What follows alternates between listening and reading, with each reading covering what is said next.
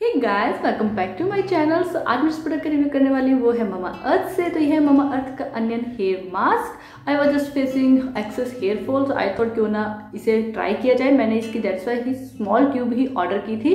And आप देख सकते हैं इसके ये कैसे ट्यूब पैकेजिंग में इसके ऊपर भी कार्टून बॉक्स था, जिसके ऊपर सेम यही प्रिंट एंड पीछे डिस्क्रिप्शन था सेम था।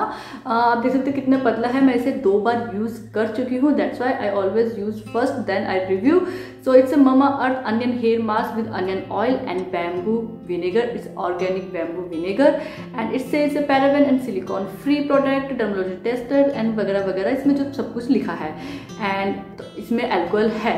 कि इंग्रेडिएंट्स में अगर आप देखेंगे तो इसमें एल्कोहल है बट फिर भी मैंने इसे ट्राई करने का सोचा बिकॉज़ मुझे बहुत ज़्यादा हेयरफॉल हो रहा था and the net quantity is for this product is twenty four gram and इसके एम आर पी है just ninety nine rupees ninety nine rupees में आपके ट्वेंटी फाइव ग्राम आपको मिल जाएगा। अगर आपको जस्ट ट्रायल के लिए लेना है उसके बाद देख सकते हैं कि आपके फेयर पे वर्क करता है कि नहीं करता है।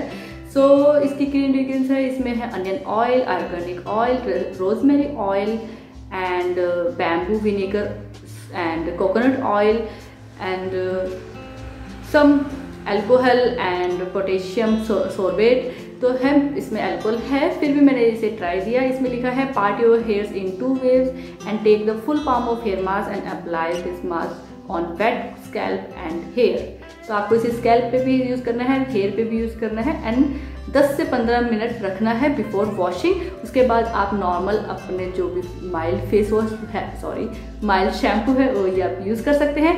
Two two three times a week use करना है but I just use once a week after use of two times मैंने इस रियल में नोटिस किया है। मेरे हेयर फॉल में काफ़ी काफ़ी बहुत फ़र्क पड़ा है।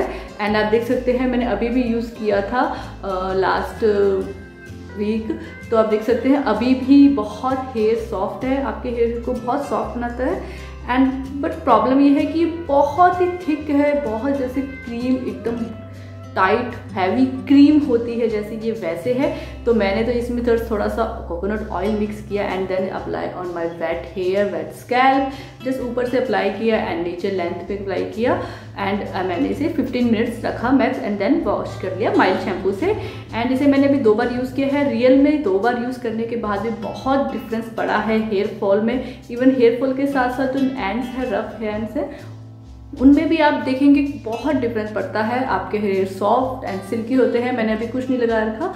तो आप देख सकते हैं, बहुत सॉफ्ट एंड सिल्की है मेरे हेयर डिफरेंस पड़ता है। हाँ इसमें थोड़ा एल्कोहल है बट फिर भी ये वर्क करता है। जस्ट मैंने नाइन्टी नाइन रुपीज़ में जस्ट फॉर ट्रायल मैंने इसे परचेज़ किया था। आप भी इसे परचेज़ कर सकते हैं ट्राई कर सकते हैं। इफ़ इट वर्क तो good for your hair and even मेरा हेयर फॉल तो इसने रोका। Hope you like my video and don't forget to like share and subscribe and video